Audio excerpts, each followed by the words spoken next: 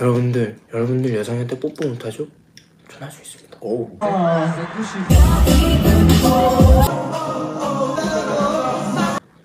뽀뽀도 뽀뽀를 왜 해? 오늘 여상이는 약간 너무 큐트. 하지만 잘생겼어.